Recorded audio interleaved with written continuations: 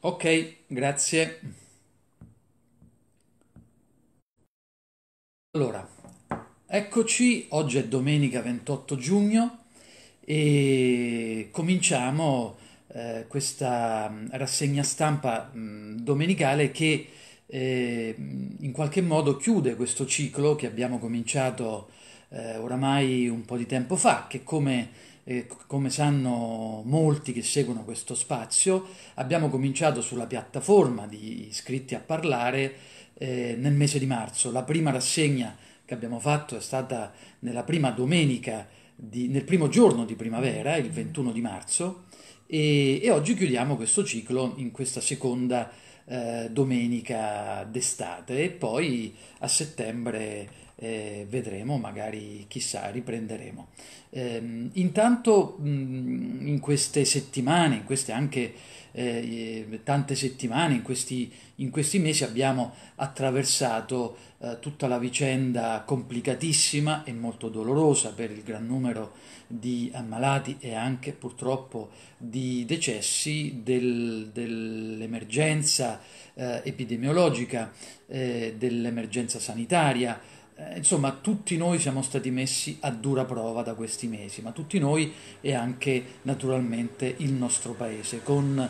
eh, tensioni eh, molto forti eh, che mh, eh, sono eh, adesso ancora sotto traccia e però sappiamo in realtà si scaricheranno tutte eh, non solo in quest'estate che sarà un'estate eh, molto complicata perché insieme alla voglia di, di, di, ripartire, insieme alla voglia di lasciarci tutti quanti mh, alle spalle eh, l'ansia di giornate troppo lunghe, c'è però la preoccupazione per una crisi economica che soprattutto nei mesi eh, autunnali si scaricherà enormemente sulla eh, capacità della nostra economia di ripartire. Penso in particolare a tutte, eh, a, migliaia di persone che fanno un lavoro autonomo, che hanno un lavoro precario, eh, intermittente, che hanno una partita IVA, alle migliaia di persone per me che vengo da un territorio manifatturiero, da un territorio artigiano, eh, le migliaia di persone che eh, mandano un'impresa ogni giorno dovendosi reinventare, inventando una strategia per conquistare mercati e che di colpo in questi mesi si sono eh, visti eh, davvero mh, mm, eh, crollare un mondo che era stato fatic- faticosamente eh, conquistato. E quindi il tema per chi eh, per chi come me, per chi come noi ha degli incarichi istituzionali, degli incarichi politici, è innanzitutto eh, dar voce a coloro che maggiormente stanno, stanno pagando eh, questa, questa, crisi, una crisi che tra l'altro ha squadernato le, tutti eh, i punti mh, di eh, attrito, di malfunzionamento di un sistema, eh, il nostro, che sappiamo già da molto prima che scoppiasse l'emergenza eh, sanitaria. E anche da prima che scoppiasse la crisi del 2008 era però malato di troppe ingiustizie, di troppe, eh, di troppe disparità, eh, di troppe diseguaglianze. E tra l'altro lo voglio dire in questa rassegna che appunto chiude questo ciclo, forse ehm, il, la, la, frase più politica eh, che eh, eh racchiude eh, che racchiude il, la natura di questa crisi e anche che, che racchiude eh, il, il senso, l'intelligenza politica, l'iniziativa politica, le cose da fare per uscire dalla crisi, le ha dette, eh, le ha dette eh, Papa Bergoglio, Papa Francesco, eh, in, eh, in, una sua, in, una sua, riflessione quando ha eh, ammonito tutti noi dall'impossibilità eh, di ehm, vivere sani in un mondo malato e il mondo malato è quello appunto di eh, un, un, un'economia che funziona a rovescio, che in questi anni eh, la politica non ha saputo eh, governare permettendo appunto eh, la, um, la, concentrazione di, di ricchezze. Il compito eh, sempre più nelle mani, nelle mani di pochi, permettendo anche una enorme speculazione finanziaria e mm, il compito della politica è invece innanzitutto redistribuire, redistribuire le risorse, redistribuire le opportunità, redistribuire quindi il potere e non solo proteggere, ma mettere chi è maggiormente in difficoltà nella condizione di essere protagonista. La crisi racconta eh, questo, di, di, questi, di, questi, squilibri e per noi eh, la, l'autunno significa invece riuscire a mettere, mettere, in campo misure concretissime da subito in realtà perché eh, vanno programmate da subito già in, questi, in queste settimane eh, estive per appunto uno sviluppo che sia fondato finalmente sulla, uh, sul, uh, sul contrasto alle diseguaglianze e sul sostegno a chi invece è, è maggiormente in difficoltà. E, però partiamo, um, se riusciamo, se mi riesce, di aprire anche questi aggeggi tecnologici dove ho segnato qualche, mm, ecco un po' di filo conduttore. Ecco, partiamo, dicevo, in questa nostra rassegna stampa che vede oggi in questa eh, domenica di 28 giugno i, i, giornali più importanti aprire anche eh, con titoli diversi, ma partiamo anche con un articolo di avvenire che racchiude, visto che oggi insomma è l'ultima rassegna di questo ciclo, che racchiude anche un po' il riassunto della vicenda che riguarda innanzitutto l'emergenza sanitaria che ci ha indotto in quei giorni, di, di, in quei primissimi giorni, il cosiddetto lockdown eh, di chiusura, quando lo smarrimento era enorme e tuttora eh, è ancora grande, a inventarci questo luogo, questa piattaforma iscritti a parlare e a inventarci anche questo modo di scambiarci idee, ehm, opinioni, eh, interventi, pensiero. E dice avvenire, eh, ci racconta quella che è la statistica eh, sulla, eh, sull'epidemia e dice appunto avvenire i contagi e i morti sono ai minimi nel nostro paese, ma nel mondo siamo al picco dell'epidemia. Ecco, questo è un tema perché anche oggi tornano, torna sui giornali un tema che in, in realtà eh, conosciamo perché ne parlano eh, tutti i talk eh, mediatici, televisivi, cioè il rischio eh, sull'autunno, eh, quindi capire quanto eh, l'autunno con il ritorno anche di un clima eh, di un clima più freddo che normalmente porta eh, tra l'altro alla, ehm, al, al, al,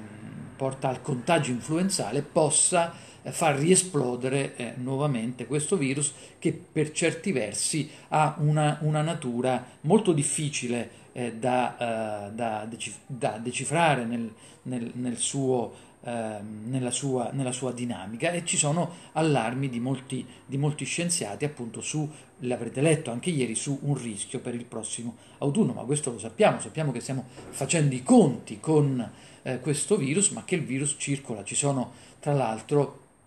anche notizie di cronaca eh, su vari focolai in eh, diverse, eh, in, in, diverse città italiane, molto, molto concentrate per la verità, ma che comunque eh, naturalmente preoccupano. Dice avvenire, sono 8 le vittime di Covid ieri in Italia e 175 i contagi. È un dato ai minimi dall'inizio di marzo, ma le cifre confortanti nel nostro paese si contrappongono all'esplosione di malati e di vittime nel mondo vicine ai 500.000 morti. E ci sono dei grafici assolutamente impressionanti che mostrano, eh, ecco, ehm, quanto appunto il Covid sia di gran lunga diventato in pochissime settimane la prima causa di mortalità superiore a tutto il resto nel mondo e quindi eh, questo dovrebbe silenziare le idiozie invece dei negazionisti che purtroppo alimentano tante pagine tante pagine web e che portano tra l'altro ad alimentare tutta una polemica anti-vaccinista assolutamente pazzesca, dopo mesi così, eh, eh, così drammatici che abbiamo vissuto con così, tan- con mm, così, tante vittime nel mondo e nel nostro paese, tra l'altro eh, vittime e morti, come, come sappiamo, eh, nell'atrocità eh, del, della distanza, del non poter, eh, non, non poter affiancare appunto i, i, i, malati e non poter stare a fianco a, a chi eh, in realtà poi mm, negli Stati Uniti c'è un record di nuovi casi, 45.000 eh, in un solo giorno, in altre parti del mondo, il Brasile, l'India, ne abbiamo spesso parlato in queste settimane di, eh, di rassegna stampa e il numero totale appunto sfiora eh, i 200, ehm, eh, sfiora nel, nel, eh, nel mondo eh, gli oltre 250 mila, mila morti, abbiamo detto. Eh, scusate, le oltre, eh, oltre 500.000 vittime, abbiamo detto, in Italia invece i casi sono eh, poco sopra i 240.000, eh, per l'esattezza 240.136 dall'inizio dell'epidemia, solamente in Italia, con appunto ehm, eh, con eh, ieri in un, un numero, un numero per fortuna finalmente eh, tra i più eh, bassi da quando è cominciata la statistica. Tra le regioni sempre in testa la Lombardia con 77 nuovi casi e eh, seguita dall'Emilia Romagna e, e, naturalmente ci si interroga poi sul, eh, sul, eh, sui sintomatici, sui presintomatici, sugli asintomatici, su coloro che sono positivi, su coloro che sono debolmente debolmente positivi. Ma veniamo subito però, dopo aver aperto sulla, uh, su quella che è la situazione che riguarda appunto l'epidemia, vediamo invece alle questioni più politiche che riguardano tanti fronti, tanti fronti che oggi cercheremo, come abbiamo fatto uh, sempre in queste eh, settimane, di tenere insieme. C'è un fronte intanto che come sappiamo è sempre quello dell'Europa, l'Europa che e, e questo è un successo per la nostra politica, è un successo per l'Italia indubbiamente e anche per eh, lo schieramento dei democratici e dei socialisti a livello europeo, un'Europa che inizialmente molto, molto uh, in difficoltà, a, uh, incapace di scuotersi, poi però uh, finalmente ha capito di essere di fronte a, ad una crisi che avrebbe potuto spazzarla via e con l'Europa, aggiungo io, avrebbe potuto spazzare via le nostre democrazie e, e un'Europa che quindi finalmente ha capito eh, che le ragioni fondative stanno eh, fondamentalmente nella capacità appunto di ehm, eh, redistribuire, di costruire comunità, di, di redistribuire ehm, eh, diritti e il primo diritto della cittadinanza è quello a star bene, è quello a potersi curare, il diritto appunto alla salute e alla vita e eh, eh, il diritto eh, ad, ad, avere eh, una istruzione in un tempo appunto in cui le scuole sono state chiuse, il diritto ad avere un lavoro, a poter fare imprese in un momento in cui tutto questo viene messo a rischio dal eh, blocco che impedisce il commercio, impedisce eh, la domanda, impedisce quindi acquisti, esportazioni, offerte. Eh, il 17 luglio ci sarà finalmente il Consiglio europeo sul cosiddetto Recovery Fund, uh, Next Generation, insomma il piano per il rilancio, dove dovranno essere stanziati 750 miliardi, alcuni a fondo perduto, eh, alcuni a tassi eh, di eh, debito assolutamente inferiori allo zero e vantaggiosi, così come molto eh, eh, vantaggiosa la linea aperta eh, per la sanità eh, per investire in nuovo personale sanitario, per investire in nuove strutture sanitarie, per investire su quella medicina territoriale e di base il cui smantellamento è eh, una causa del fallimento eh, politico in, eh, in eh, Lombardia e non solo in eh, in Lombardia, con tutto quello che ne è conseguito per il nostro paese, quel fo- quella linea di credito cosiddetta ehm, eh, MES, cioè legata al fondo salva stati, su cui c'è ancora un dibattito e, e, e su cui in maniera assolutamente, eh, assolutamente irragionevole i 5 Stelle continuano, eh, continuano a voler prendere tempo, assecondati eh, a mio avviso in maniera sbagliata dal Presidente del Consiglio perché tergiversare eh, su eh, questi investimenti per la sanità potrebbe causare un ritardo enorme ehm, in un momento in cui a settembre, a ottobre noi invece bisogno già eh, di essere pronti eh, avendo già utilizzato quindi eh, investimenti come i 36 eh, miliardi eh, che l'Europa mette a disposizione senza condizionalità, eh, quindi senza avere ripercussioni su quelle, eh, su quelle, che sono le nostre autonome eh, decisioni di, eh, di, bilancio. Però appunto Conte, e questo ce lo dicono i giornali anche oggi, vuole invece rimandare la scelta a, a settembre. C'è un dibattito, c'è un dibattito mh, su questo, una scelta che invece a mio avviso noi dobbiamo fare molto presto per programmare appunto eh, quel, quelle iniziative strategiche che sono fondate eh, sugli investimenti. Sappiamo che dal primo di luglio sarà eh, la eh, Germania a mh, presiedere il semestre europeo e sappiamo che la Merkel, eh, eh, sono pieni i giornali giorn- di ieri, mh, ma anche di oggi in qualche modo, di un suo, di un eh, sappiamo che la Merkel molto, in realtà, devo dire, con lungimiranza, si sta, spen- si sta, sta spendendo la, la, la propria uh, autorevolezza politica in maniera simile, secondo me, a quanto fece nel 2015, nei giorni della crisi, della crisi migratoria. Ricorderete dei migranti che venivano attraversando l'Anatolia uh, via terra dalla Siria e decise uh, Angela Merkel di aprire la Germania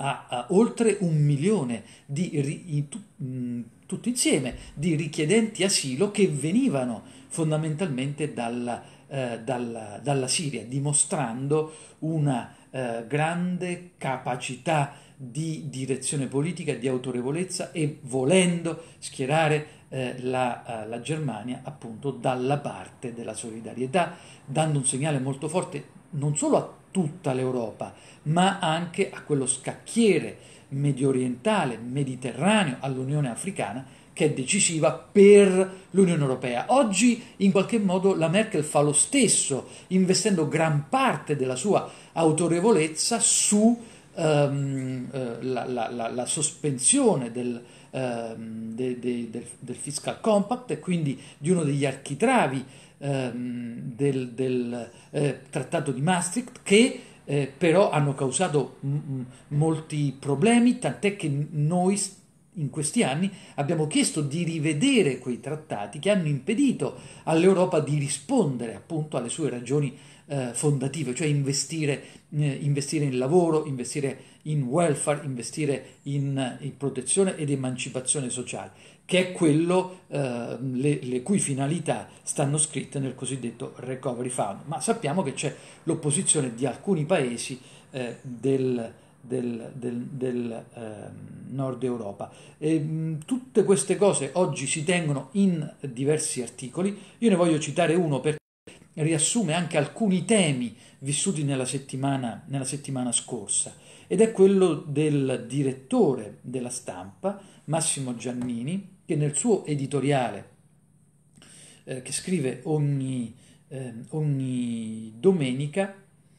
eh, parte da un tema, da un problema molto serio che abbiamo nel nostro paese, cioè il fatto che l'Italia, ancora prima di questa crisi, in realtà cresceva molto meno rispetto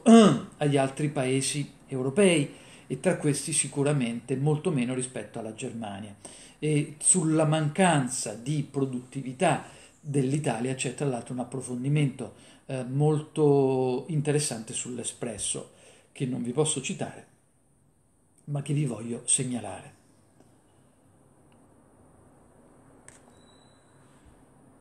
Negli ultimi dieci anni l'Italia è cresciuta in media dello 0,2% all'anno, mentre la Germania cresceva del 2%. Uh, e, e, poi uh, Giannini a un certo punto mh, mm, prende di petto il Presidente del Consiglio e rivolgendosi al Presidente del Consiglio uh, scrive Da cittadini, signor Presidente, ci permetta di riassumere cosa abbiamo visto in questa ultima decade. Dopo il Cura Italia e il Rilancio Italia, totale 80 miliardi, è lo scostamento di bilancio che è, è stato è stato effettuato per appunto poter coprire le spese due, di questi due decreti, si profila all'orizzonte un altro decreto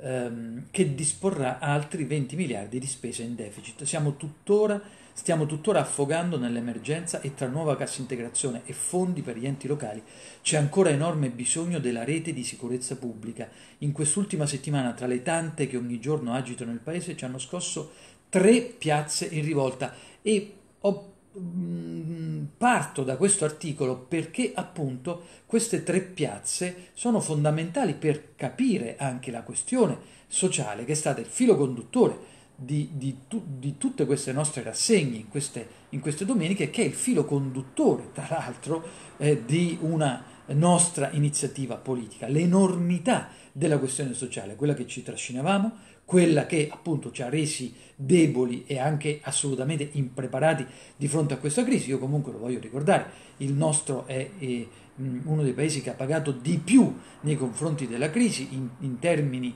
eh, di contagi, in termini di decessi e questo è un tema comunque che c'è. E, tre piazze in rivolta, lo sdegno delle tute blu in mascherina rossa per i 150 industriali, 150 dissesti industriali,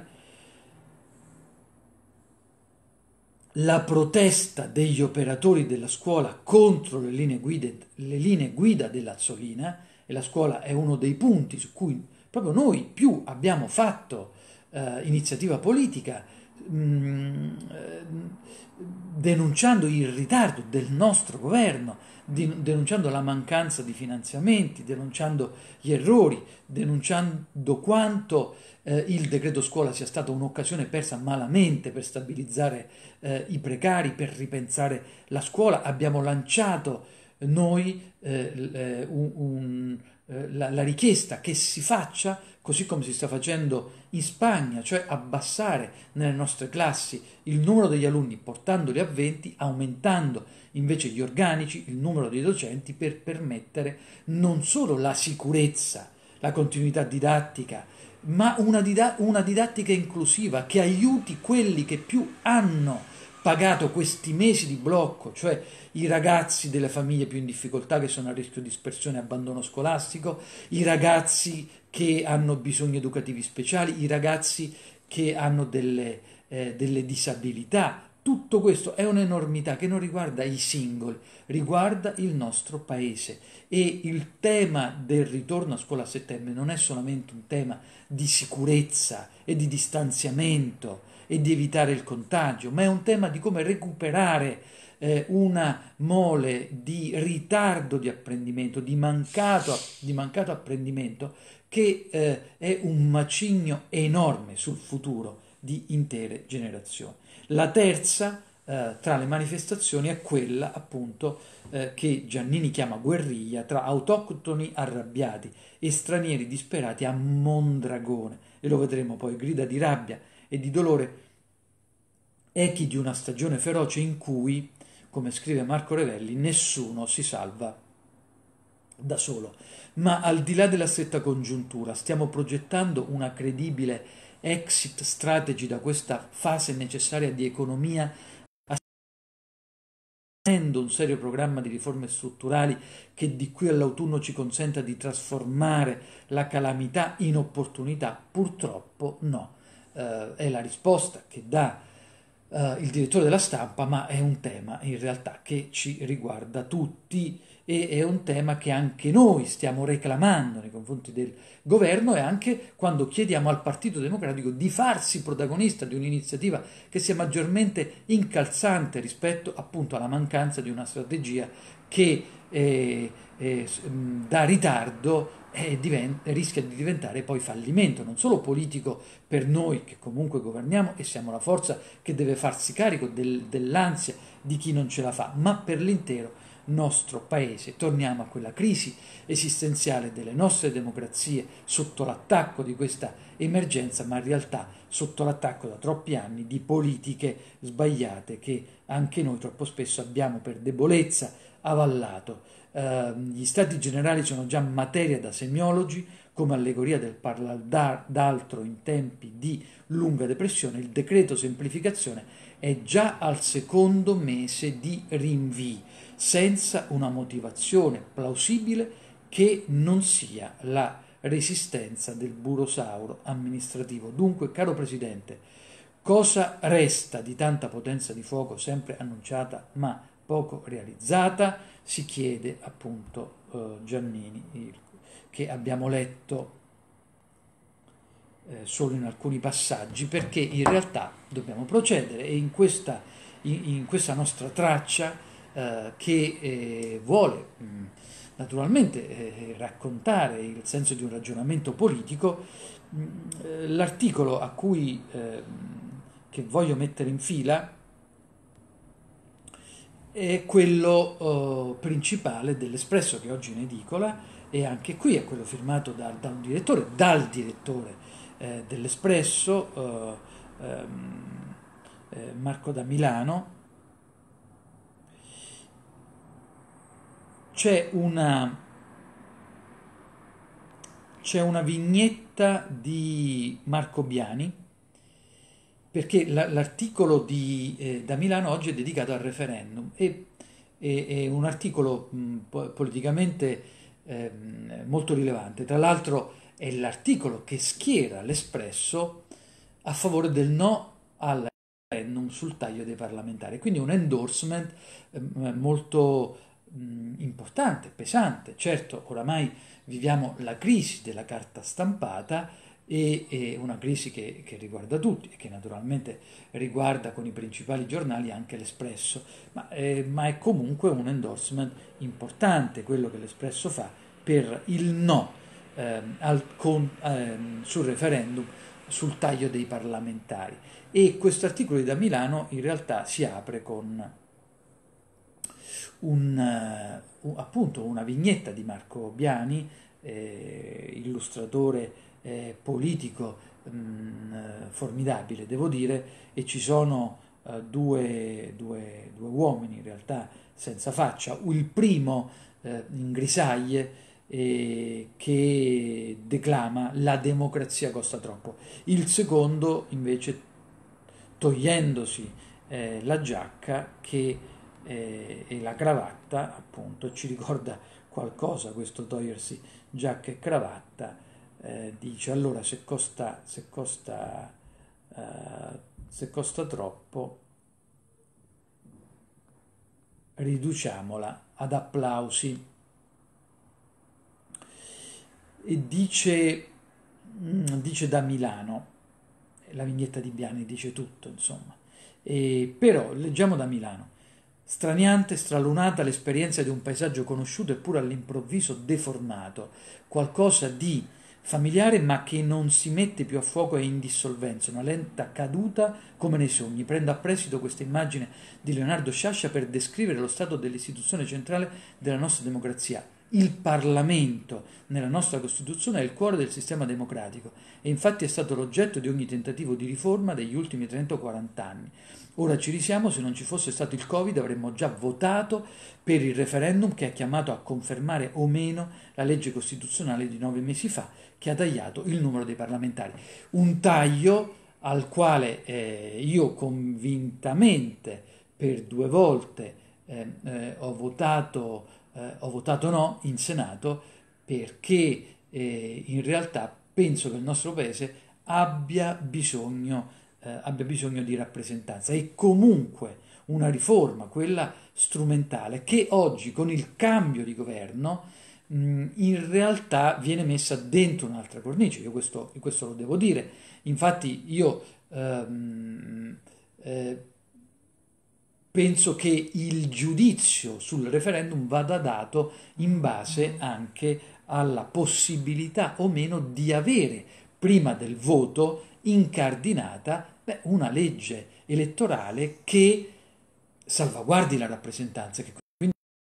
eh, sia proporzionale, perché altrimenti in mancanza di questo è chiaro che questo sarebbe un referendum disastroso che andrebbe a, a, a colpire in mancanza appunto di una legge elettorale di riequilibrio quello, quella che è la rappresentanza non solo politica, ma anche dei territori, penso alle aree interne, quelle più eh, marginali, che hanno bisogno di avere invece voce in Parlamento. Uh, e qui chiudo la mia parentesi e, e, riapriamo invece quella di da Milano. La consultazione è stata spostata a causa dell'epidemia e fissata per il 20 eh, settembre. Nessuno sembra avere interesse fino a questo momento e se ne capisce il motivo, un referendum che taglia i parlamentari eh,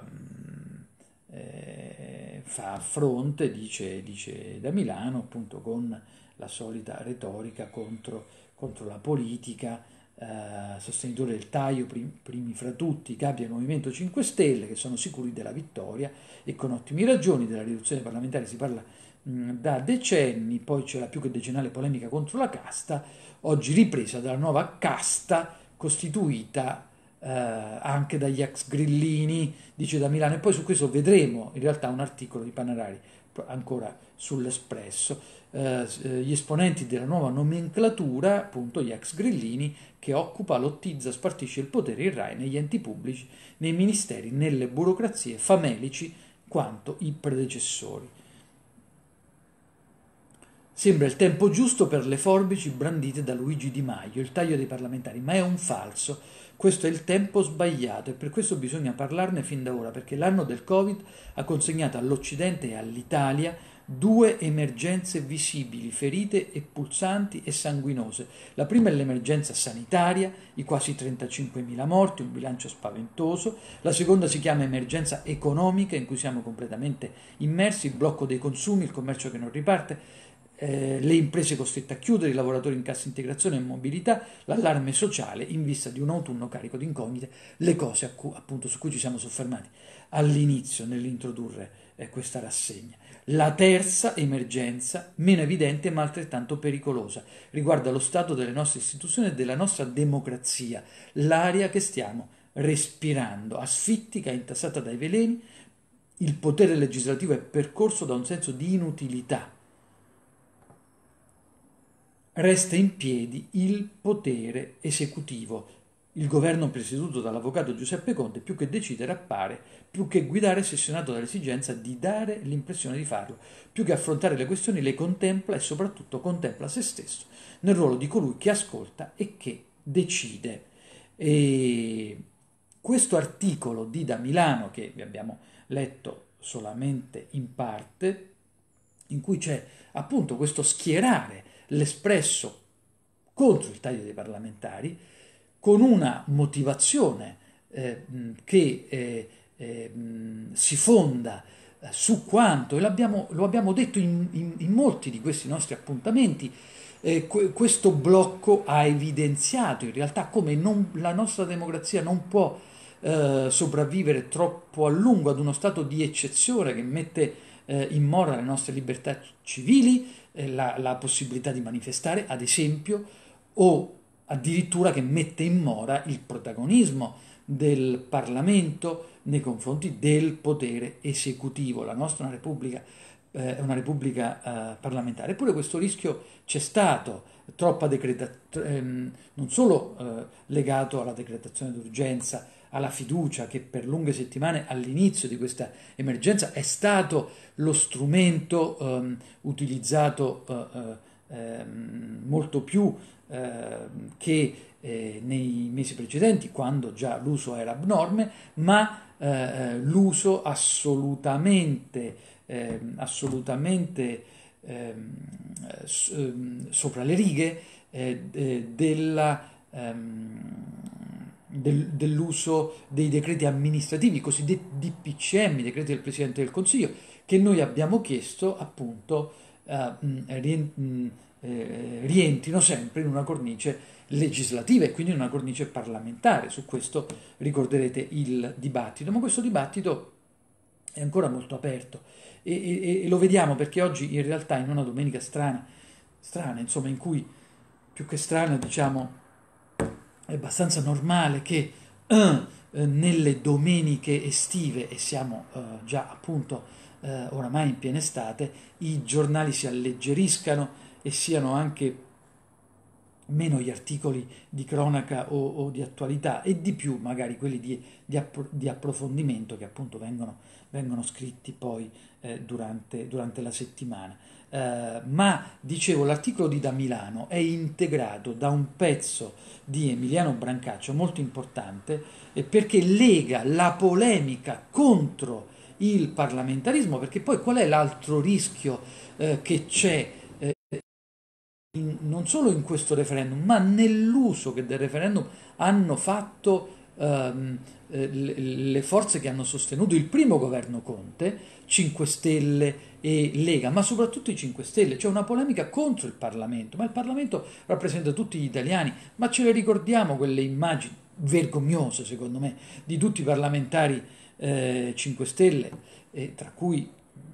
vabbè, eh, insomma, adesso ce ne sono eh, alcuni che stanno nel governo che noi, che noi eh, sosteniamo, penso al Ministro dei rapporti col Parlamento, ad esempio, che eh, eh, eh campeggia nella foto dei parlamentari 5 Stelle eh, che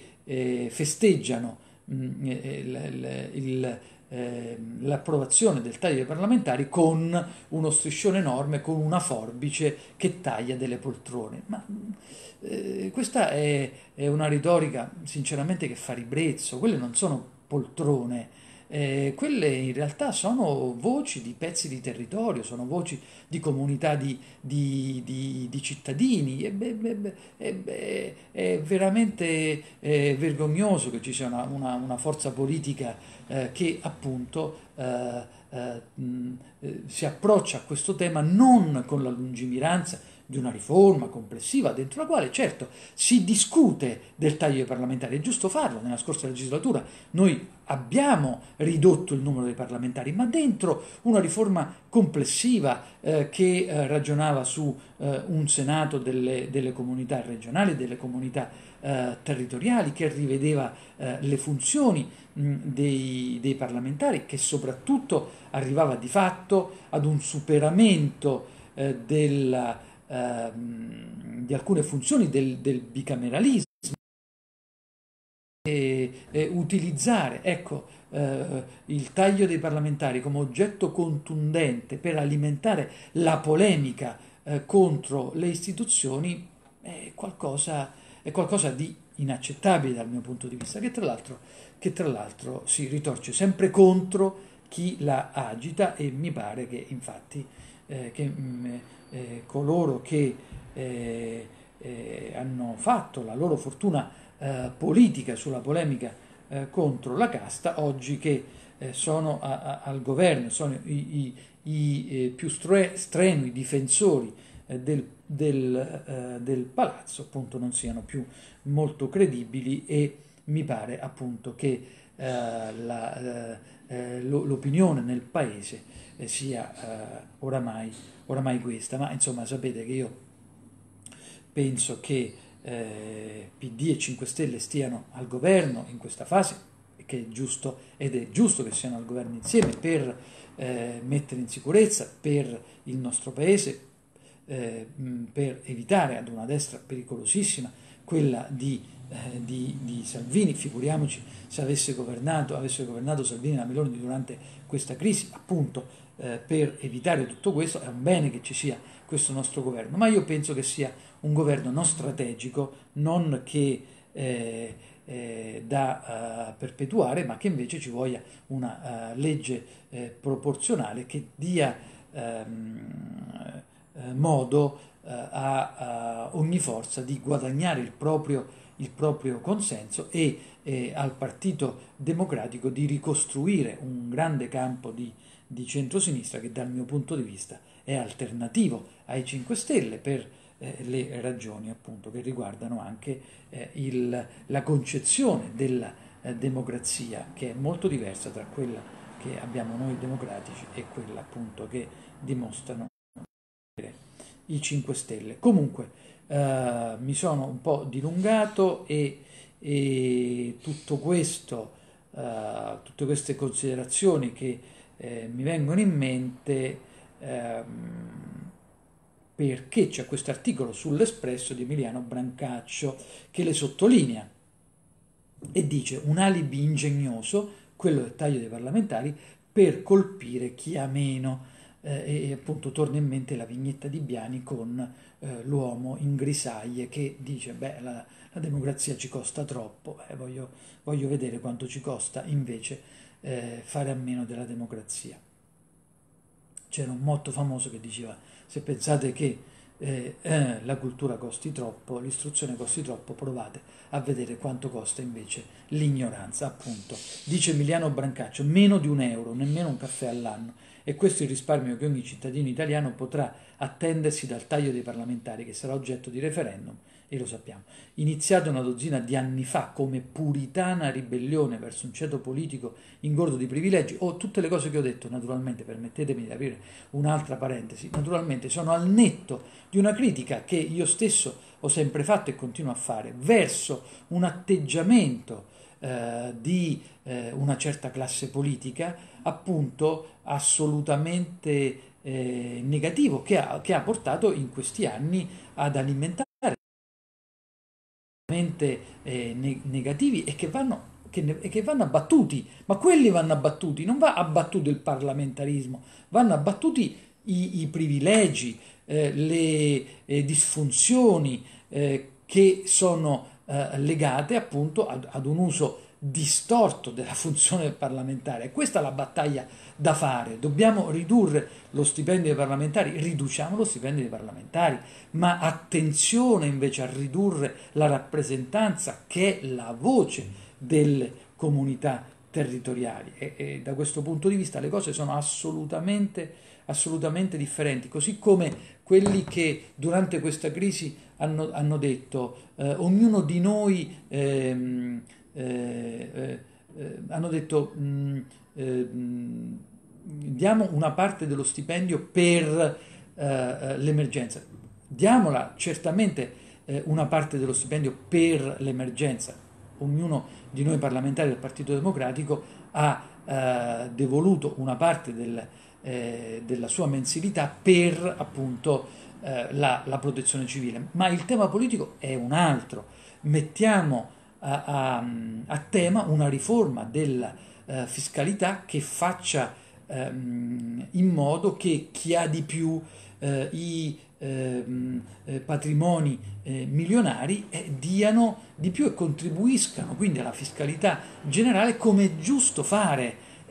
questo tema per cui è un tabù nel nostro paese parlare di patrimoniale, attenzione, la tassazione sui patrimoni che è molto diversa dalla tassazione sui redditi, perché i redditi eh, sono legati allo sviluppo e, e, e, invece il patrimonio è legato alla rendita. E quindi il tema, della, eh, il tema di eh, tassare le rendite è un tema molto importante per la sinistra da sempre. E in una crisi che acuisce le ingiustizie come questa penso che sia un tema di cui noi non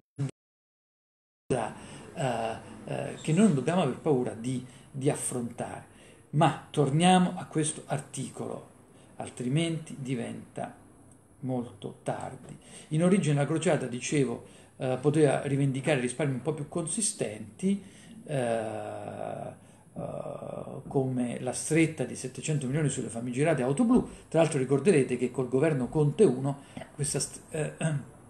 ai tempi di Salvini e Di Maio, questa stretta sulle auto blu non è mai, non è mai eh, eh, esistita. Ricorderete la commessa sul nuovo eh, parco auto. Ehm, oggi deve accontentarsi di un più magro bottino dall'annunciato taglio dei parlamentari verranno meno di 60 milioni, ma ben, ma ben guardare nemmeno ai suoi sordi la guerra alla casta ha avuto la benché minima rilevanza macroeconomica. I tagli più rilevanti ai privilegi del ceto politico non hanno mai raggiunto il millesimo della spesa pubblica nazionale, una roboante propaganda su risibili voci di contabilità. Insomma, si potrebbe obiettare che per soddisfare la brama popolare di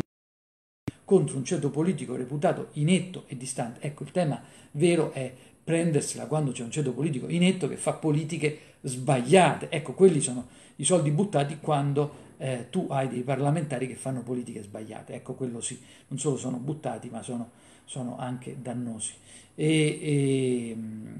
e pericolosi. Uh, ma allora perché questa risibile insistenza sul risparmio per le casse pubbliche? Il motivo è presto detto, la verità è che le, la stretta sulle poltrone uh, eh, dell'odiata casta politica sono state un alibi ingegnoso per far passare ben altri tagli ai fondi pubblici che hanno provocato danni incalcolabili alle infrastrutture, alla ricerca, all'istruzione, alla sanità pubblica, come ormai purtroppo sappiamo. Sapere dei tagli al ristorante di Montecitorio ha reso più tollerabile il clima generale di austerity, ridurre l'odiato parlamentare alla questua ha reso più accettabile la dura quaresima per tutti. Le rivalse anticasta vanno quindi valutate per quel che sono, un oppio del popolo per intorpidire elementi e giustificare il più reazionario ordine di politica economica che si sia imposto nella storia repubblicana. E mi pare eh, appunto che questo articolo davvero dovesse essere letto, perché mi pare molto importante. Questo tema di come in questa emergenza ci siamo uh, portati eh, dietro una crisi molto forte della democrazia e anche del parlamentarismo, viene sottolineato oggi da un articolo di Luciano Violante su Repubblica, il Parlamento depotenziato. Ecco, eh, tutto torna in, in, questa, in questa lettura che stiamo cercando di fare, quanto rischiamo con la crisi della rappresentanza politica.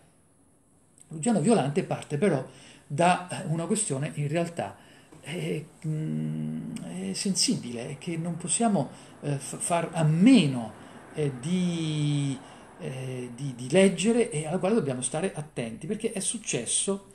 eh, che è stata inserita una norma in un atto nei giorni scorsi che in realtà eh, fa discutere e, e, sulla quale dobbiamo intervenire, io penso, perché eh, porta, porta, con sé molto, molti rischi e lo dice Luciano Violante. Il ministro del proprio atto amministrativo dare discrezionalmente risorse da una, da una all'altra finalità del decreto rilancio il decreto che è attualmente in conversione in Parlamento,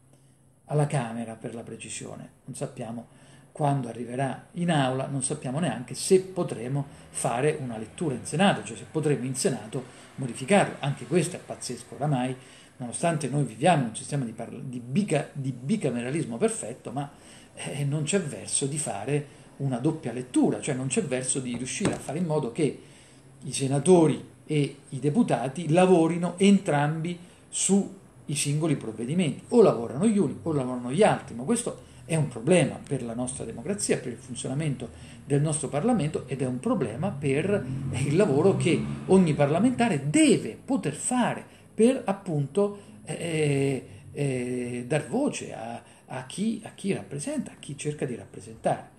Non solo territori naturalmente, prima dei territori i ceti sociali, una visione politica, eh, eh, un, un, insieme di valori che corrisponde a ceti sociali dal mio punto di vista.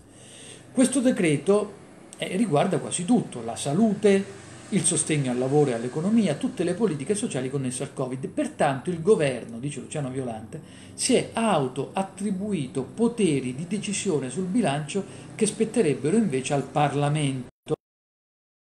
Si è impegnato ad acquisire il parere non vincolante non vincolante delle commissioni parlamentari. La stessa cosa è accaduta alcune settimane fa per i DPCM, appunto gli atti amministrativi di cui dicevo, vi ricordate? I moduli, le, quelle pazzesche autocertificazioni che, che cambiavano eh, continuamente eh, nelle settimane del lockdown, eh, erano tutte frutte dei famosi DPCM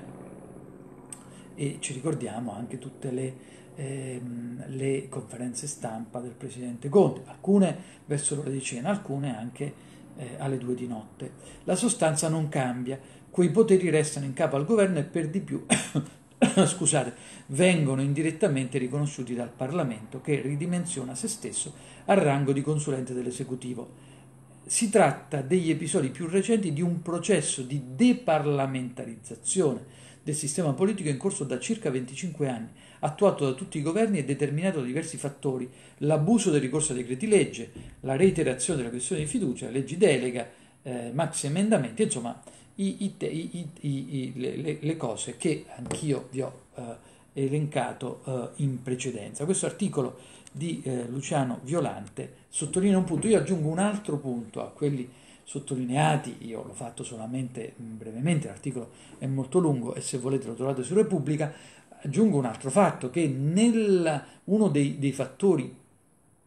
più eh, sbagliati della risposta che la politica diede alla crisi ehm, finanziaria ehm, del 2008-2009 fu aver introdotto in Costituzione il, l'obbligo del pareggio di bilancio. Per questo limitando, tra l'altro, eh, eh, davvero la possibilità di una politica economica espansiva. E davvero eh, questa è una delle eh, prime cose cui porre rimedio a livello nazionale e a livello anche europeo, in una fase in cui mi pare stiamo finalmente capendo che dobbiamo invece arrivare a delle politiche appunto espansive, fatte di, di, di, fatte di investimenti e no, a una centralità degli investimenti pubblici che è l'unico modo per poter attrarre tra l'altro investimenti privati. Su questo tema della democrazia in crisi da distanza, questo è il titolo, c'è un articolo di Massimo Cacciari sull'Espresso la pandemia ha esaltato i mali storici della politica italiana,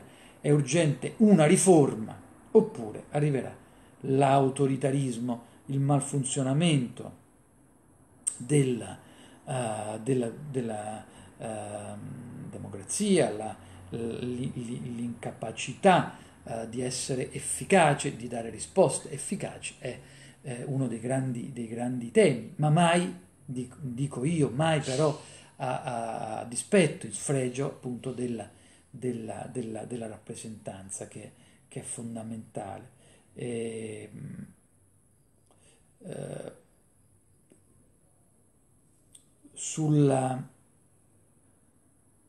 sulla, sul rischio dell'annullamento dello spazio, dello spazio pubblico, ecco, ragiona, prende, prende le mosse Massimo Cacciari per un articolo che anche questo eh, riguarda il tema della democrazia. Ma il tema della democrazia però eh, in realtà eh, si lega alla questione sociale, appunto è un nostro, è un nostro pallino. E, e, la questione sociale, e questo è anche il tema di questi giorni, non, non, non è solamente la protezione. Noi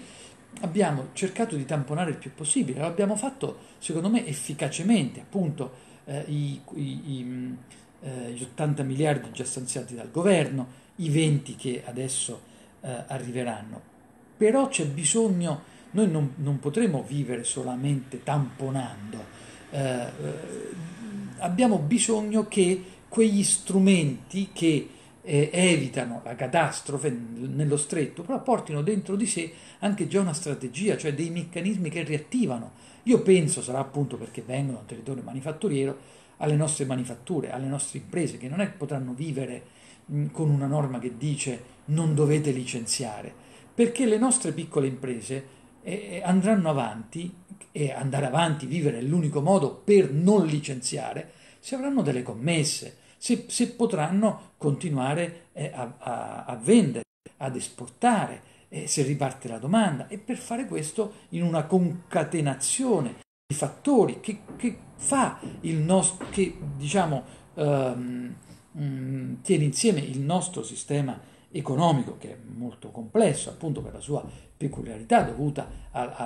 a, alle piccole imprese rispetto alla grande, eh, alla grande industria E beh, però è, è dovuto quindi ad una serie di misure che siano strutturali, cioè che non riguardino solamente un mese, due mesi, tre mesi, no, che siano strutturali. Fiscalità di vantaggio, investimenti appunto eh, per eh, investimenti selettivi per eh, eh alcuni ehm, settori industriali, per un sostegno all'artigianato che è un valore aggiunto formidabile del nostro Made in Italy che, sale, che si lega alla cultura, al saper fare, all'identità territoriale e quindi attraverso tutto questo anche al turismo, alla sua capacità attrattiva. E tutte queste cose appunto si tengono. Uh, se manca lo sviluppo è quello che si chiede Ferdinando Giuliano a proposito su Repubblica a proposito della strategia economica del governo. Un governo dice che sta rispondendo alla crisi causata dalla pandemia cercando di evitare uno shock di natura temporanea, che lo shock di natura temporanea abbia conseguenze permanenti. È corretto, uh, dice, dice Giuliano, ma appunto non può durare a lungo. Il rischio è trasformare l'Italia in una foresta pietrificata, destinata a crollare appena finiranno appunto i soldi per gli aiuti. Uh, lo Stato deve essere in grado di accompagnare le trasformazioni in atto nella società e di illudersi di poterle arrestare. Uh, mettere un tappo sul vulcano non vuol dire fermarne l'eruzione. Già prima della pandemia, e qui torna un tema che abbiamo uh, letto nell'articolo iniziale della nostra rassegna, già prima della pandemia l'economia italiana stava subendo dei cambiamenti formidabili, dalla digitalizzazione dei servizi fino alla conversione di interi comparti manifatturieri. Il Covid-19 accelera queste mutazioni, ad esempio la crescita delle piattaforme di vendita online e ne aggiunge delle altre. Per certi settori come l'organizzazione di eventi il futuro è inevitabilmente incerto. Negli ultimi tre decenni, al netto di lodevoli eccezioni, l'Italia ha faticato ad adeguare la sua struttura produttiva. In uno studio del 2016 la Commissione europea ha mostrato come il rallentamento nella crescita della appunto vi, ho eh, rimandato a un approfondimento che c'è sull'Espresso, qui viene risottolineato, negli anni 90 è eh, legato alle, all'incapacità di trasferire risorse alle aziende meno efficienti, mh, mm, dalle aziende meno efficienti a quelle più innovative. E, e Uh, questa trans- conclude eh, questo articolo, questa transizione rischia di avere costi sociali enormi che non possono essere scaricati passivamente sui lavoratori. Per questo è più che mai essenziale avere politiche attive del lavoro, capaci di formare i disoccupati e aiutarli a ricollocarsi. Purtroppo l'AMPAL, che è l'Agenzia Nazionale per le Politiche Attive eh, sul, eh, sul lavoro, è completamente allo sbando e il suo presidente Mimmo Parisi, il padre dei navigator, continua a godere di una incomprensibile protezione politica da parte del Movimento 5 Stelle. Se il governo vuole davvero andare indietro non può continuare a privilegiare uno a discapito di molti. Ho letto questo articolo anche perché questa sua chiusa finale, beh, è molto politica e sta su una polemica politica che anche eh, eh, ehm, molti dei nostri parlamentari hanno fatto in queste settimane sull'incapacità di AMPAL, cioè di questa agenzia che dovrebbe gestire eh, tutta eh, la eh, vi, vicenda del, dei navigator eh, e quindi del, del, del, fare in modo che il reddito cosiddetto di cittadinanza non sia una questione meramente assistenzialista, che poi è in realtà la critica che ho sempre fatto a questo strumento che, voglio ricordarlo, costa al nostro paese più di 10 miliardi, ma in realtà aiuti a creare lavoro e quindi non lasci le persone dentro casa, appunto, no? È brutto dirlo, però se appunto non ci sono politiche attive per il lavoro è il rischio che c'è, ma aiuti invece a trovare un nuovo lavoro e quindi a, a dare dinamismo al mercato del lavoro questo non avviene perché questa agenzia non sta funzionando. Eh, abbiamo chiesto le dimissioni eh, di questo presidente, ma è difeso dalla ministra del lavoro, eh, eh Nunzia Catalfo dei 5 Stelle, e dai grillini, perché questo presidente è molto legato a Luigi Di Maio. Tutte queste cose ci vengono spiegate oggi da un articolo di un giornalista importante che si chiama Sergio Rizzo. C'è un articolo che io adesso non, non vi leggo per brevità, ma ve lo cito, lo trovate sempre su Repubblica, che è dedicato proprio non solo ad un, ad un identikit di questo, di questo, uh, eh, di questo uh, presidente di Ampal, Domenico Parisi, eh, l'incapacità di Ampal di funzionare, ma il fatto eh, tra l'altro che eh, Domenico Parisi faccia parlare molto di sé, ecco questo sì per eh, una serie di atteggiamenti molto poco frugali che ha e molto eh, invece legati a, a privilegi. Questo articolo parla di eh, un, un, un, appartamento che questo presidente di Ampal reclama, ma comunque se volete eh, lo, lo, lo, trovate, lo trovate eh, Sergio, trovate Sergio Rizzo sul, su uh, Repubblica. E a proposito dei 5 Stelle, Massimiliano Panarari sull'Espresso, del Movimento 5 Stelle resta solamente il potere. Esiste in politica una spinta più potente di quella fornita dall'ideologia. Apre il suo pezzo Massimiliano Panarari, che è un analista molto attento della comunicazione politica eh, del, del, delle forme della, del, della, della politica e, e, e, scrive per diversi giornali, la stampa e, e l'Espresso e insomma è sempre eh, molto interessante. Esiste in politica, comincia una spinta più potente di quella fornita dall'ideologia. Si chiama governismo ed è una forza gravitazionale irresistibile a cui nessuno riesce a sottrarsi fosse anche il più antisistemico dei partiti movimenti, quello che tramite uno dei suoi, dei suoi, due fondatori aveva annunciato urbi e torbi che avrebbe aperto il Parlamento. Problemi di connessione, spero che in realtà... Scusate, vediamo. Spero che in realtà si veda, eh, anche perché io con questa modalità adesso non riscontro. Eh, sto leggendo Massimiliano Panarari che si riferisce appunto ai 5 Stelle che, da, mh, mm, eh, che appunto dopo aver eh, declarato l'apertura del Parlamento come uno, sca- eh, una scatoletta di tonno è entrato nella sfera gravitazionale dell'occupazione, a prescindere del palazzo. E, e, e quindi e quindi eh, per il Movimento 5 Stelle, dice Panarari, il centro di gravità permanente corrisponde al governismo che lo radica e lo ancora rispetto ai numerosi sbanda- sbandamenti e gli consente di mitigare le giravolte più marchiane dovute davanti ai militanti duri e puri in nome di una finalità superiore, appunto quella del governismo una traiettoria personale sintetizzata, in, eh, la, mh, mm, uh, sintetizzata appunto dalla, da, uh, dalla, vicenda di Giuseppe Conte eh, che eh, sintetizza in maniera compiuta la parabola del movimento 5 Stelle nel governismo a tutti i costi. Il camaleontismo grillino si intreccia con l'ascesa del camaleconte in parte la genera e in parte ne è guidato e diretto. L'ex avvocato del popolo è l'incarnazione perfetta di questa formula, eh, dice Massimiliano Panarari, riferendosi ai maggiorenti pentastellati. Ma eh, dopo questo articolo di Panarari eh, sul go, eh, governismo come unica, eh, come eh, diciamo ragione, non l'unica perché no, questo non, è ingiusto dirlo, no? ma come, come dice Panarari, ragione più forte dei 5 Stelle, però poi veniamo invece a, a, ad una parte politica che riguarda il Partito Democratico. Eh, c'è un dibattito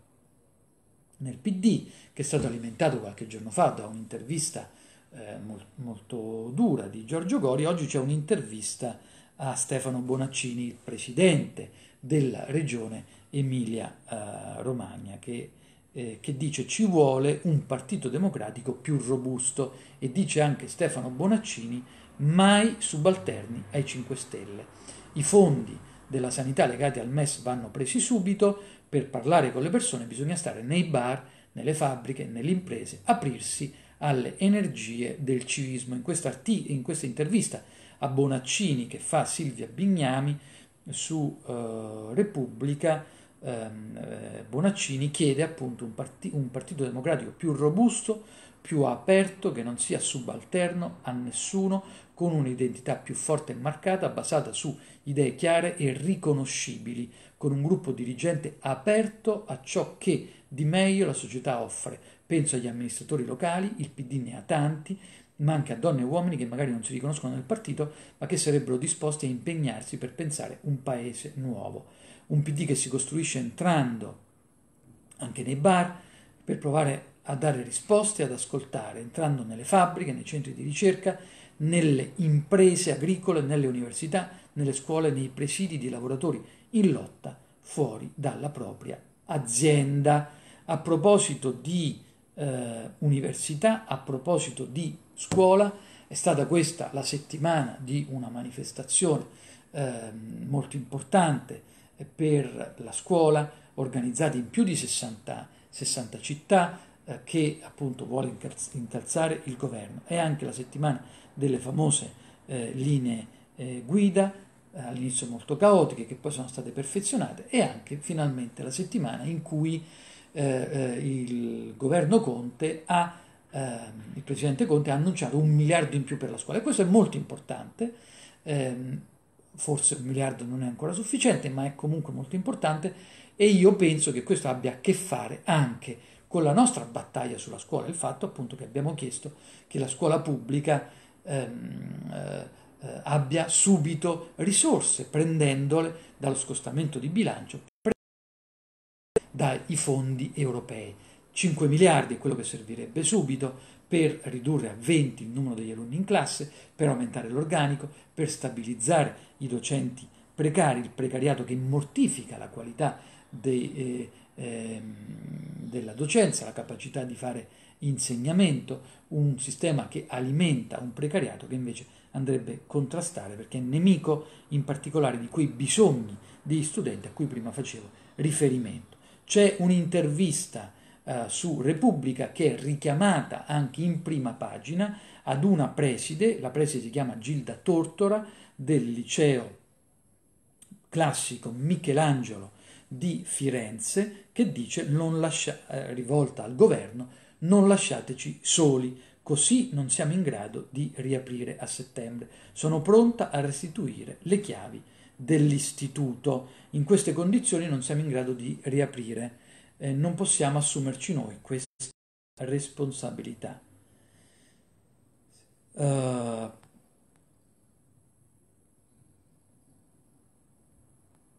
c'è il tema appunto delle aule, della, della mancanza di, eh, di spazi e c'è il tema appunto eh, del, eh, del, sostegno eh, in realtà agli, agli studenti e, e, dei fondi da, da spendere eh, per soluzioni che verranno spese per soluzioni temporanee, mentre, dice la Preside, avrebbero potuto coprire interventi strutturali. Ecco il tema fondamentale degli interventi strutturali che aspettiamo da anni come il rifacimento delle,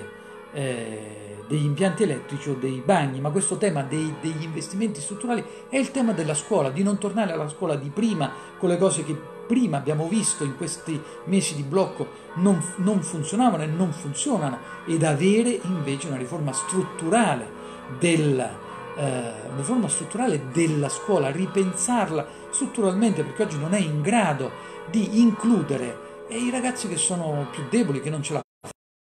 una famiglia forte, che non hanno risorse economiche aggiuntive rispetto a quelle, a quelle della scuola per, eh, per, andare, per andare, avanti. E, e, su questo c'è un articolo uh, de, di un quotidiano, uh, di un quotidiano che eh, è molto interessante, che si chiama Quotidiano del Sud, l'altra voce dell'Italia, è, è difficile da trovare in edicola, ma insomma c'è in rassegna ed è molto interessante e si intitola uh, Azzolina la classe che non esiste. In realtà fa riferimento ad una uh, uscita sicuramente eh, infelice l'altro giorno in conferenza stampa della ministra Azzolina che eh, ha, ha, citato una scuola a Scampia che eh, eh mh, mm, mh, mm, sta in un appartamento. In realtà questa scuola non, mh, mm, non, c'è, non c'è, è intervenuto poi appunto il dirigente scolastico correggendo la ministra, dicendo no, guarda ministra, in realtà la nostra è un'esperienza in un quartiere difficilissimo, appunto Scampia, eh, un quartiere simbolo del, del, del, degrado, dell'assenza dello Stato, dell'emergenza legata a, a, allo spaccio, alla criminalità organizzata che gestisce, in questo caso la Camorra, che gestisce le piazze di spaccio eh, a Scampia, quindi l'abbandono scolastico, insomma un grande tema che è appunto emblema del nostro paese e di dove invece eh, il PD dovrebbe stare per riprendere, eh, riprendere radicamento e, e, e questa frase appunto infelice della ministra a cui ha risposto il dirigente scolastico invitando tra l'altro la ministra a visitare questa struttura e la ministra ieri si è scusata dicendo che andrà e, e, da questo parte questo articolo di Giovanna Gucci dicendo alla ministra Azzolina converrebbe, come ha annunciato appunto lei stessa cercando di recuperare quell'uscita, mettersi in viaggio per conoscere da vicino di cosa si parla quando si parla di scuola, a partire da quella inesistente che lei aveva collocato dentro un appartamento di Scampia. E, ehm, il quartiere delle Vele a Napoli, dove c'è invece, appunto, dice l'articolo, uno dei migliori istituti tecnici intitolato al piemontese Galileo Ferraris, eh, che l'ha invitata appunto eh, per Ehm, eh, per rendersi conto di una realtà che in un quartiere difficilissimo è invece una realtà modello. Vada, continua l'articolo, a, a vedere le scuole ad altissimo rischio sismico della Calabria, e aggiungo io non solo della Calabria, dove meno della metà degli edifici scolastici è in possesso del semplice collaudo che si fa a qualunque ascensore prima che entri in funzione ma anche in qualche istituto del nord dove si muore per mancate riparazioni da quattro soldi. E qui viene citata la tragedia di, eh, eh, del, del, 2008 a Rivoli, dove il crollo di un controsoffitto per eh, un risparmio di, pazzesco, assurdo, di 500.000 eh, lire ha ucciso Vito Scafidi e c'è qui la denuncia il racconto straziante in questo articolo della, della mamma di, di, Vito. Sicurezza per gli edifici eh, eh, che viene reclamata, ma in questo articolo appunto soprattutto viene eh, eh reclamata l'urgenza del fatto che 1.137.000 minori vivono in povertà assoluta eh, con percentuali doppie nel mezzogiorno rispetto al resto d'Italia e, e questo porta eh, soprattutto nelle cosiddette aree interne del paese, che non stanno solo nel mezzogiorno d'Italia, ma sappiamo anche nel, nelle, nostre, eh, nelle, nostre, regioni, appunto, a, a un eh, ritardo, a una, una, una, eh, ad una eh, dispersione. Su questo ritardo del governo sulla scuola, appunto, questo articolo insiste molto, ehm, però dobbiamo chiudere. Allora, su avvenire Mondragone. Che cosa succede a Mondragone? Chi sono i bulgari di Mondragone ammassati, sfruttati senza diritti, senza giustizia, che sono stati scoperti anche qui mh, grazie alle tante emergenze che il Covid ha fatto emergere, che c'erano eh, semi nascoste di cui eh, mh, eh, si è fatto finta ehm, eh, di nulla, eh, li si è voluto ignorare, ma insomma una vicenda pesantissima di caporalato, i furgoni dei caporali parcheggiati all'alba sotto i palazzoni per caricare gli schiavi del pomodoro. E poi però anche il caporalato che da, da, da, dallo schiavismo legato al bracciantato agricolo diventa poi con gli stessi eh, caporali che sfruttano le stesse persone per appunto il bracciantato, le sfruttano per eh, il mercato della eh, della, eh, pros- della, prostituzione. e, e a pochissimi chilometri da, Montre, da Mondragone, a Pesco Pagano, uno dei tanti non luoghi di questo territorio, la sera del 25 aprile 1990, un comando di camorristi guidato da Augusto La Torre, boss di Mondragone, uccise cinque persone, quattro erano immigrati. Strage per affari di droga, ma molte delle vittime non c'entravano per nulla. I killer vennero condannati da, con l'aggravante eh, razzista, ma la devianza e le delinquenze sono tutt'oggi manovalanza di criminali locali e, e a questo appunto fa riferimento al, alla piaga del, del eh, eh, caporalato, al tema della regolarizzazione eh, de, urgentissima eh, dei migranti per cancellare appunto l'ignominia di uno sfruttamento che è tollerato, che è coperto, che è negato. Eh, e ecco, questo eh, in, intervento appunto fa riferimento a questo che è oggi l'articolo di fondo di Avvenire. Su Avvenire c'è eh, un articolo di Nello Scavo. Nello Scavo l'abbiamo letto molto in queste domeniche perché è uno dei giornalisti d'inchiesta più importanti del nostro paese. È un giornalista di Avvenire, è il giornalista a cui dobbiamo le inchieste italiane che si collegano alle inchieste dei magistrati della Corte di Giustizia Europea, eh, del Consiglio d'Europa, eh, alle inchieste dei funzionari dell'ONU sulla complicità della Guardia Costiera libica nel traffico di esseri umani, la complicità API, eh, soprattutto uno, il famigerato cosiddetto Bija, eh, nel, eh, appunto eh, uno dei, dei, capi della Guardia Costiera ehm, libica nel, nel, nei crimini contro l'umanità eh, che hanno nella detenzione illegale nei campi libici dei migranti che si assommano a migliaia arrivando da tutto il Corno d'Africa, da tutto il Sahel e che appunto in Libia vengono eh, concentrati, eh, detenuti, eh, schiavizzati. E per questo noi stiamo chiedendo con forza che non ci sia eh, nelle missioni che l'Italia fa nel Mediterraneo alcun soldo italiano alla Guardia Costiera libica perché è sbagliato che eh, l'Italia, come è stato fatto in realtà fin dal 2017 con il, memora- quel famoso memorandum che eh, proprio nello scavo ha contribuito diciamo, a, a, a, a far capire quanto, quanto, in realtà abbia permesso poi ehm, comunque ai libici di avere un contesto eh, di, di mh, diciamo, eh, in, qualche modo che eh, ha, gli ha permesso di continuare, senza in qualche modo, che gli ha permesso di gestire eh, eh, ehm, l'immigrazione in un tratto di mare, quello del Mar Libico, ma eh, siccome la Libia non è un porto sicuro, siccome i centri di detenzione libici per migranti in realtà sono dei lager, questo eh, lo hanno detto tutte le inchieste, e noi dobbiamo in realtà eh, impedire che la Libia, che è un paese che non ha mai sottoscritto i trattati internazionali sulla protezione dei migranti, a partire da quello di Ginevra del 1951, gestisca i flussi migratori. I flussi migratori devono essere gestiti dall'Europa, da delle missioni internazionali. Questo abbiamo, chiede, eh, chiederemo che non, eh, di non che, mh, eh, stralciare eh, dalle missioni i finanziamenti e che riguardano la cosiddetta appunto Guardia Costiera Libica, lo abbiamo chiesto nella direzione del PD di, eh, dell'altro ieri, di venerdì scorso, continueremo a farlo con grande forza, così come abbiamo denunciato il fallimento di quel cosiddetto memorandum tra Italia e Libia. Su questo più volte ha fatto le sue inchieste Scavo, oggi il suo articolo su Avvenire a tutta pagina molto importante eh, si intitola Nato sul barcone, eh, si riferisce a un bambino che è nato su un barcone ma poi è stato immediatamente portato in prigione, cioè è stato riportato in Libia. Cioè in realtà è un'inchiesta su un caso molto strano per cui un, un bar- barcone eh, partito dalla eh, Libia,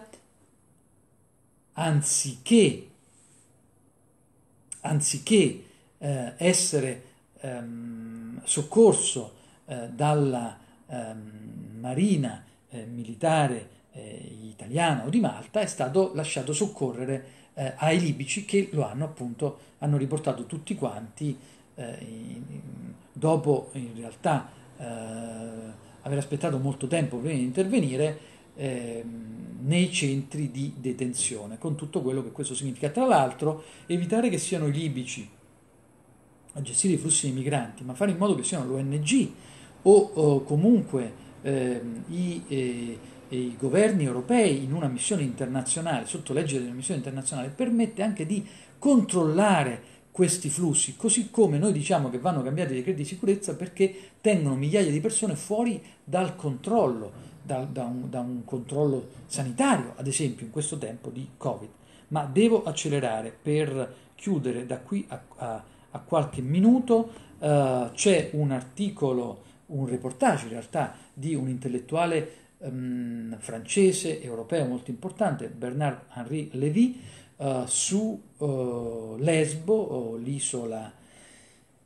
eh, l'isola appunto che sta sul, sulla rotta migratoria che eh, che, eh, riguarda, eh, che riguarda mh, la, uh, la, Grecia. E Lesbo dove i bambini si suicidano, un reportage uh, mh, drammatico, veramente, veramente terrificante, bambini trattati come eh, animali e racconta la storia come quella di Fatima, sudanese, tre figli, che ha partorito l'ultimo figlio sulla plastica di una tenda eh, rischiando di eh, morire, di morire eh, dissanguata. E una, bambi- una bambina dodicenne che chiede a voce alta perché restiamo giorni interi a non fare niente. Poi ha usato lamette di rasoio per tagliarsi i polsi. Noi sappiamo che sono tantissimi, questo lo dicono, lo dicono eh, i documenti dell'Organizzazione delle Nazioni Unite, eh, de, dell'OIM, l'Organizzazione Internazionale sulle Migrazioni, del, eh, del ehm, sono tantissimi casi di autolesionismo dei, dei, dei, dei bambini che eh, eh, vivono una eh, tortura eh, psichica indotta da uno stato di, di indigenza che è terrificante, che comunque ci riguarda, eh, ci riguarda enormemente. E, e, appunto dice Henri, Henri uh, Lévy, ci riguarda uh, uh, l'inferno di Lesbo, donne, uomini, bambini che imputridiscono in questo carcere a cielo aperto, il cui solo crimine è di aver sognato l'Europa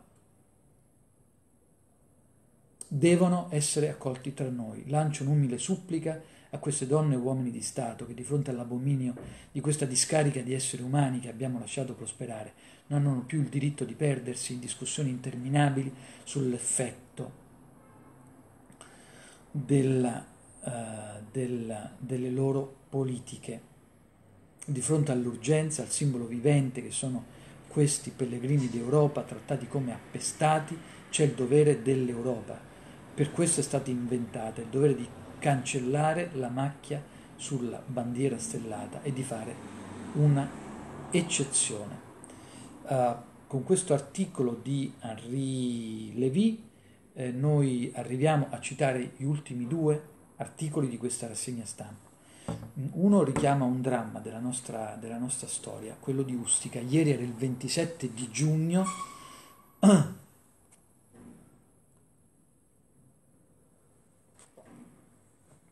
il 27 giugno del 1980, mentre sorvolava l'isola di Ustica, un DC-9 dell'Italia uh, venne, precipitò. Abbiamo poi scoperto negli anni, in virtù soprattutto della luce che è dovuta all'indagine del magistrato Rosario Priore, che eh, eh, l'aereo venne abbattuto eh, ma non c'è ancora eh, una uh, verità uh, che regga uh, sulle cause di quell'abbattimento, di quel missile di cui hanno parlato appunto le inchieste guidate da Rosario, da Rosario Priore, eh, se quel missile fosse dovuto ad una guerra aerea tra i cieli o, o a, um, altri, altri, motivi e chi, e, e chi siano stati eh, i, i, mandanti, eh, molti sono stati i paesi chiamati in causa, addirittura dei paesi, eh, dei paesi anche alleati. si è parlato, si è parlato de, della guerra tra i libici, ehm, gli statunitensi, i francesi, si è parlato di una uh, questione medio orientale, insomma, uh, di, la verità ieri è stata chiesta a gran voce dal presidente Mattarella, che ha parlato di ferite ancora aperte. E oggi voglio citare un articolo del Corriere, del Corriere della Sera, Ustica, i volti mai visti della tragedia. C'è una pagina che è eh, pagina 19, dove campeggia non solo la foto del, eh, del relitto, eh, del relitto del 19, che, eh, la cui, la cui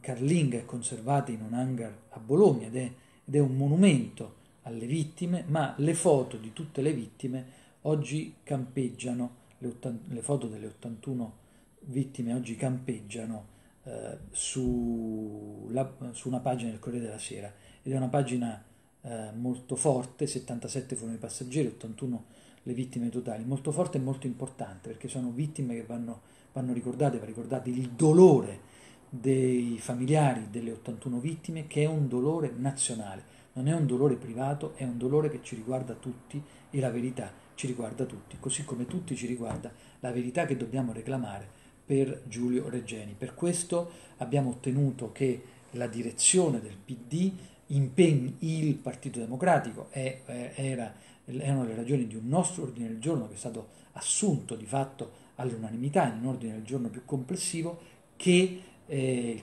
Democratico, che impegna il Partito Democratico a chiedere subito al governo di ridiscutere eh, l'accordo commerciale eh, che eh, prevede venditure di forniture militari all'Egitto se non c'è ehm, immediatamente eh, eh, chiarezza su verità, su quello che è accaduto appunto a, a Giulio, su chi sono i colpevoli della tortura di Giulio Regeni, dell'uccisione di Giulio Regeni che coinvolge pesantissimamente gli apparati dei servizi di sicurezza dello, eh, dello Stato, dello stato eh, egiziano. Così come abbiamo chiesto con forza ehm, che venga eh, scarcerato Patri Zacchi, eh, il ricercatore, eh, studente di un master su i diritti civili a Bologna, incarcerato al Cairo da febbraio. Eh, oggi i giornali parlano di, del governo egiziano che è pronto a scarcerare 530 degli oltre 60.000 prigionieri politici che ci sono in Egitto e delle azioni eh, importanti che il governo italiano sta portando avanti per fare in modo che tra quei 530 ci sia anche Patrick Zacchi e noi davvero lo, uh, lo auspichiamo, lo continuiamo a, a chiedere, a, chiedere uh, a gran voce. E così come appunto verità e giustizia per Giulio, eh, per Giulio uh, Regeni. Mai la politica estera di un paese può entrare in contraddizione con i nostri valori, quelli della nostra Costituzione, del nostro Stato di diritto, perché altrimenti si perde l'autorevolezza, la reputazione, si viene trattati da opportunisti e però si perde l'autorevolezza e la reputazione che è l'unico modo per essere una potenza in politica estera a livello internazionale. Eh, il manifesto apre oggi con una prima pagina dedicata ai lavoratori dello spettacolo, che sono tra quelli che eh, più stanno pagando la crisi, sono lavoratori soprattutto intermittenti, sono fondamentali non solo per l'economia del nostro paese, ma per il pensiero, per il fare comunità che sta in un teatro, in uno spettacolo aperto, nel far vivere attraverso appunto un, eh, una lettura, uno spettacolo, una piazza, un borgo, un vicolo, soprattutto in questa estate così complicata che stiamo vivendo, ai diritti dei lavoratori dello spettacolo, che è un pezzo importante della nostra iniziativa eh, politica. Noi stiamo chiedendo che anche qui non si torni alla cultura di prima, ma invece eh, ci siano finalmente per i lavoratori dello spettacolo un welfare che permetta loro di avere quella protezione, quell'indennità di quella, quell'indennità di malattia che non hanno, poter avere una pensione un domani di cui oggi non c'è traccia. Insomma, considerarli, dare loro dei diritti come dei lavoratori di serie A, perché? Perché fanno tantissimo eh, eh, per il nostro paese. C'è su questo la prima pagina del manifesto. Ma chiudiamo oggi questa nostra rassegna eh, stampa e questo ciclo di rassegna stampa che abbiamo cominciato appunto il 21 di marzo con un'intervista eh, su Avvenire a Don Ciotti. È un titolo molto bello, anche eh, letterario, eh, però molto politico. L'amore non basta, per rialzarsi serve giustizia. E no, l'amore non basta, per occuparsi degli altri è una base troppo fragile. Strano per la parola più scontata, quella che mette d'accordo tutti. L'amore è indiscutibilmente una cosa bella, ma scontato non è mai. E l'amore non basta. È il titolo dell'ultimo libro di Don Luigi Ciotti per ribadire che occorre invece il sentimento di giustizia, ossia quel sentire sulla pelle le ferite degli altri che impedisce l'indifferenza, il giudizio e il pregiudizio. Ecco, con queste parole eh, di Don Ciotti,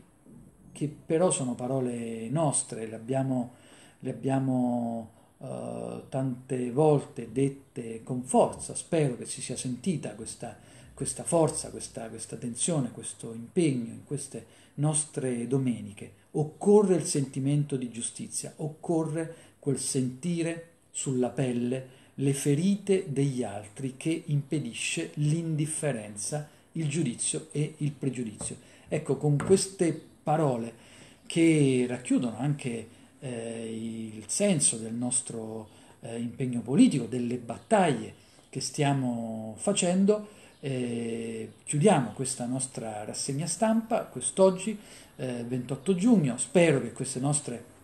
domeniche insieme eh, siano valse a, qualco- a, qualcosa. Grazie per eh, la partecipazione, per, eh, per, i messaggi, per lo scambio che tante volte è continuato anche fuori eh, da, dai social e fuori dalla, dalla rete e che continuerà in tante iniziative politiche e eh, proveremo a, a, a, riprendere queste, eh, queste nostre domeniche, questo esperimento anche di stare insieme eh, con, eh, con, la rassegna stampa, con, leggendo i giornali, con un po' di eh, pensieri e ragionamenti da fare, da fare insieme a settembre. Quindi un grande abbraccio, grazie ancora, a prestissimo.